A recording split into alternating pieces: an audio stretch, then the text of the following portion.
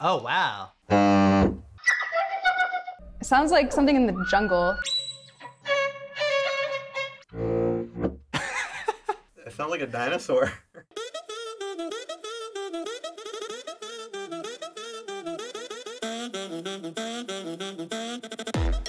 Tone transfer is a technology developed by the Magenta team in Google AI. It allows you to deconstruct sound into Play-Doh and enables you to mold it into something else. So if you took the sound of birds chirping,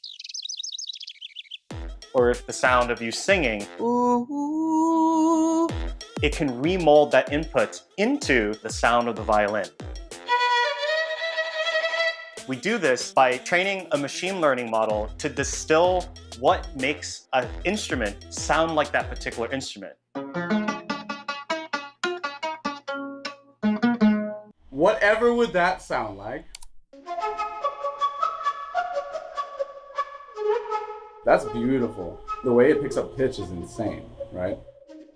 It enables a whole new class of AI powered audio synthesis that was never possible before.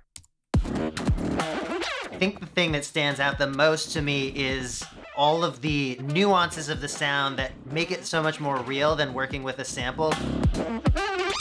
Oh my god. Whoa. It gives you a lot of surprises. I put this through.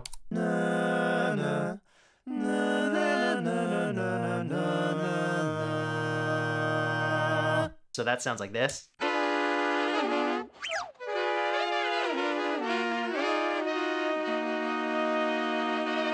So cool. I like that little squeal that it added in. I guess it took a breath of mine and turned it into like a.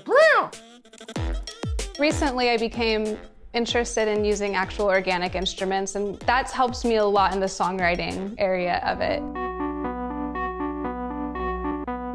All right, let's see what this sounds like.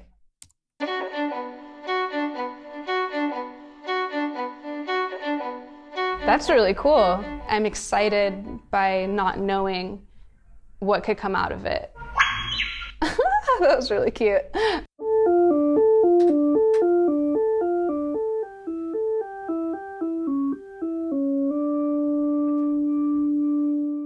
Let's see what that sounds like.